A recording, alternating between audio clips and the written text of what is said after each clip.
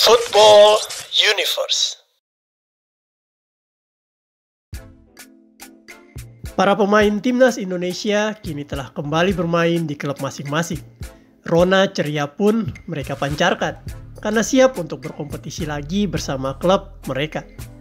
Berikut adalah update terkini kondisi pemain-pemain timnas di klub masing-masing. Please like, comment, share, dan subscribe channel ini jika cerita-cerita sepak bola kami bermanfaat. Siapa yang sudah tidak sabar untuk melihat timnas tampil lagi di bulan Juni? Pasti kita semua ya. Tetapi kalau teman-teman penasaran ingin menyaksikan pemain-pemain timnas, berikut kami sajikan penampilan mereka untuk klub masing-masing. Semoga bisa mengobati rasa rindu teman-teman. Tom Haye dan Nathan Chu Tom Haye dan Nathan Cho langsung tancap gas di klubnya Herenveen pada lanjutan Liga Belanda dengan melawan RKC Walwijk. Tom Haye terlihat sangat menikmati pertandingan dan seperti biasa melepaskan umpan-umpan terukur yang memanjakan pemain lain. Sang profesor pada pertandingan ini tampil full time dan membawa Herenveen draw satu sama dengan RKC. Sementara itu Nathan Cho juga masuk skuad Herenveen tetapi duduk di bangku cadangan dan tak mendapatkan kesempatan bermain. Kedua penggawa Garuda ini disambut meriah oleh pelatih Heronven saat kembali, karena diharapkan mereka mampu mengangkat prestasi tim. Sandy Walsh Bermain untuk klubnya, McKellen di lanjutan Liga Belgia saat menghadapi OHL, Sandy Walsh mampu memetik kemenangan 2-3 Sandi memang tidak bermain dari awal, tetapi dia menjadi pemain pengganti yang masuk di menit 83. Berkat kesulitan penampilannya di sektor back kiri, timnya McCallan dapat mempertahankan kemenangan mereka sampai peluit panjang. Ragnar Oratmangun Ragnar langsung tampil full untuk klubnya Fortuna Sittard meskipun mereka kalah 4-0 dari Sparta Rotterdam.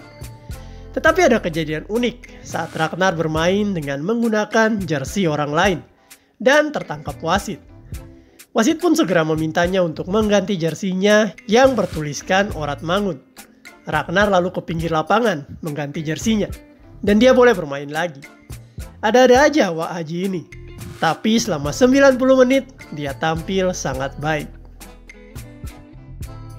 Justin Hapner untuk Justin, dia sudah mulai berlatih dengan klub barunya Cerezo Osaka.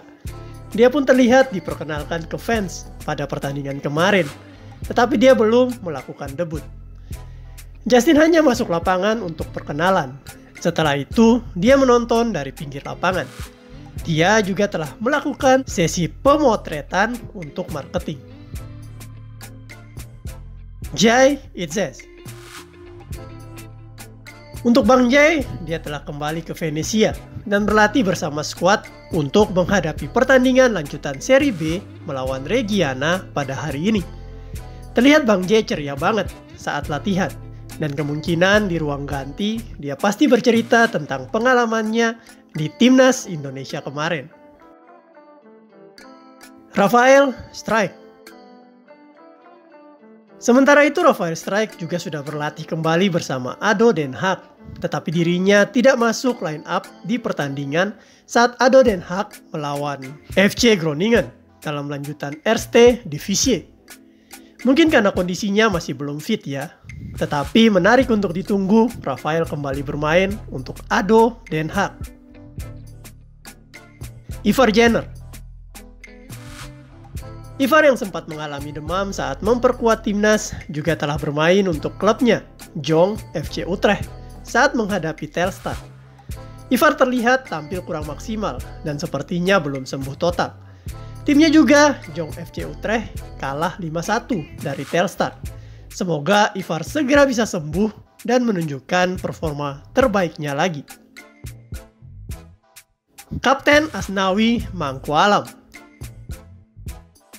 Asnawi sudah kembali ke Thailand bersama klubnya Port FC dan telah memainkan laga saat melawan Lampung Warrior. yang berakhir imbang 2-2. Asnawi bermain selama 73 menit, kemudian digantikan pemain Thailand Titi Tomport. Pada pertandingan ini, Asnawi bermain sangat baik.